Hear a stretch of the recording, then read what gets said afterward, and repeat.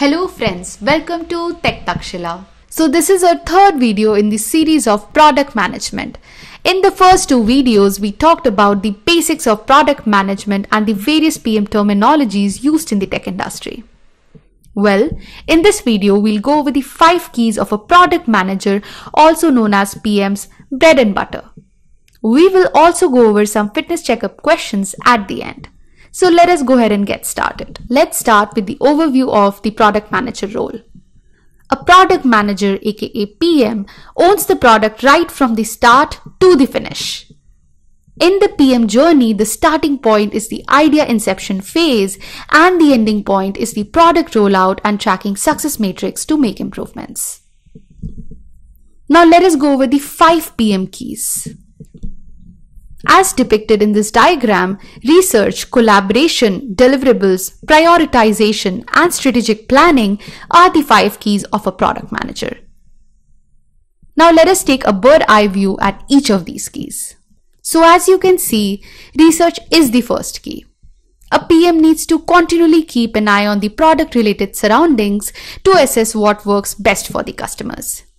In general, research should be customer centric. Multiple approaches can be leveraged to assess the customer needs. For example, conducting user studies is one of the excellent ways to determine the customer needs. Well, besides this, the PM should also be aware of the competitive product offerings. So by focusing on all these aspects, PM can outline the right product strategy. Moving on to the second key, which is collaboration. So throughout the product development lifecycle, a PM collaborates with multiple stakeholders, namely tech teams, uh, which generally consists of SDMs, SDEs, QAEs, QAM, and TPM, business teams consisting of vice presidents, directors, senior managers, and other product managers. Then the third team is the operations team. Then comes the marketing team and the BI team. Out of these, the tech and the business teams are the core teams with which the PM interacts. However, depending on the type of the industry and the function within the sector, operations and marketing teams may also come into the picture. For example, in the supply chain function, operations team is also involved. The PM collaborates with tech teams for driving the product development, with the BI team for fulfilling data analytics needs, whereas with the marketing team to develop the launch strategy. The work with the business teams is mainly to gain alignment on the idea and the revenue model. Well, in my first video, I went in detail through each of the steps in the PM interaction diagram, uh, as you can see on this slide. So you can always refer back to that video. Now moving on to the third key. So deliverable is the third key. Product manager also creates multiple documents or models throughout the product development, such as PRFAQ, financial model, BRD, white paper, and launch document. Now let us take a more in-depth insight into these document types. So the first document is the PRFAQ. Well, PRFAQ stands for the internal press release document with frequently asked questions. The PM writes this document to understand whether the product idea will be a value add for customers or not. The PRFAQ document highlights the customer problem that the product can solve and it also includes supporting data points around success matrix such as better customer experience, increase in sales, or saving manual effort. Additionally, the PM also writes the FAQs that the customers may have on the product offering. Well, multiple versions of the press release can be done to capture and maximize the real benefits of the product before actual tech implementation.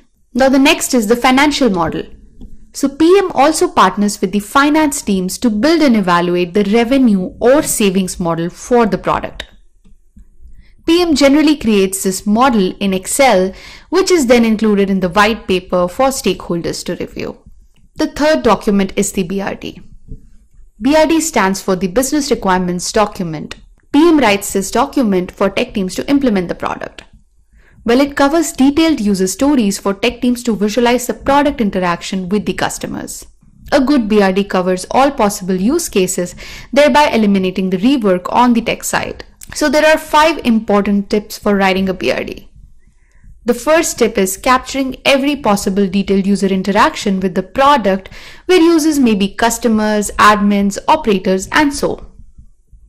The second tip is categorizing user stories with priority ranks such as P0, P1, P2 and outlining the minimum viable product for launch. Well, this helps the tech teams to plan the development accordingly.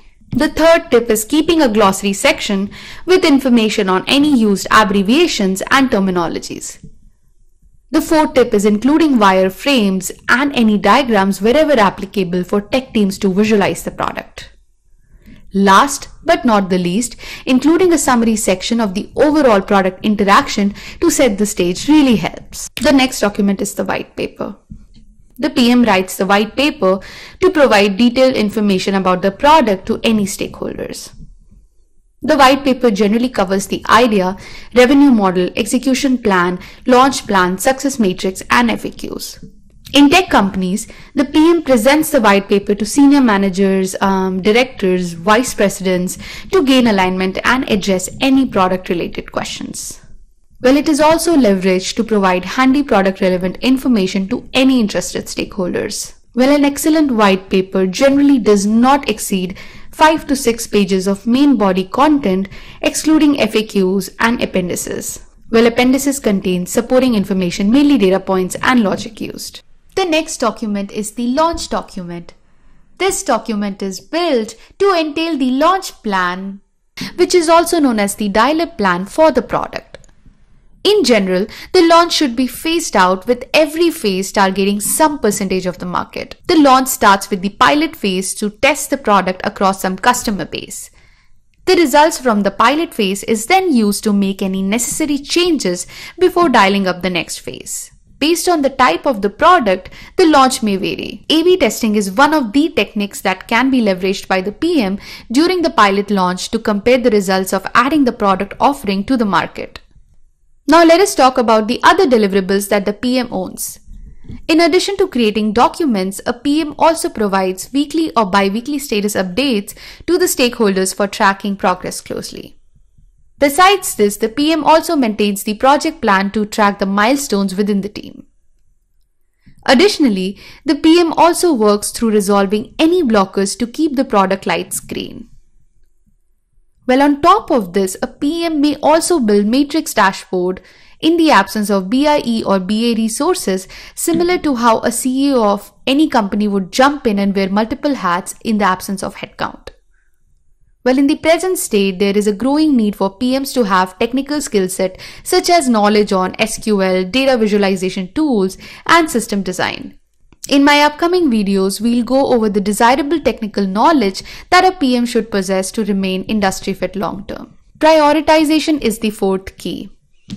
A PM owns overall prioritization related to the product. Well, when it comes to actual implementation, not everything may execute as per the original plan. PM needs to help prioritize the product features that needs to be implemented first versus later. For example, in a good BRD, the PM puts priorities such as P0, P1, P2 and so across user stories and defines the minimum viable product for launch. Well, not having the right priorities may cause rework from the tech side.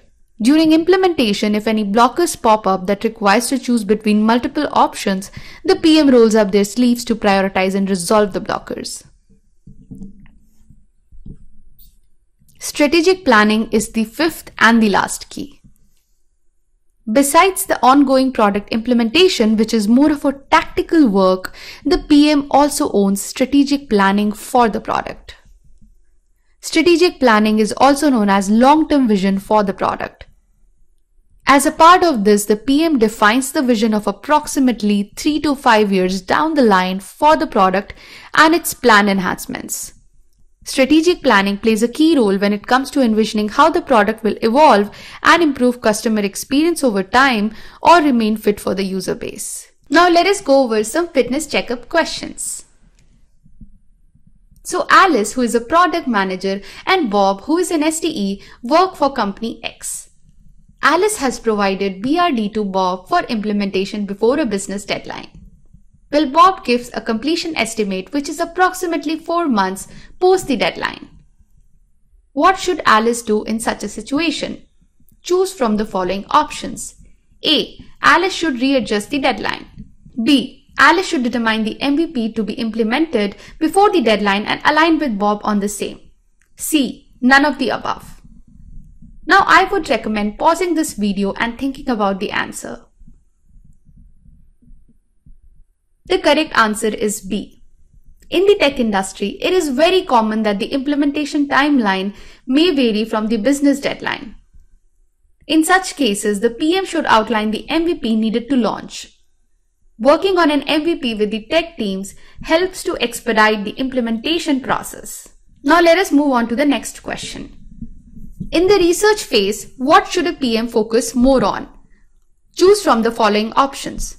A. Customers B. Competitors. C. Both customers and competitors. Again, I would recommend pausing this video and thinking about the answer. The correct answer is A. PM's research should focus more on customers than competitors. Knowing about competitors is needed, but the focal point should be customers. Now to recap, in this video we talked about the product manager role, the five keys of a product manager and we also covered some fitness checkup questions. With this, thanks for watching. Please give this video a thumbs up if you liked it. Please subscribe to our channels to stay tuned for our upcoming videos.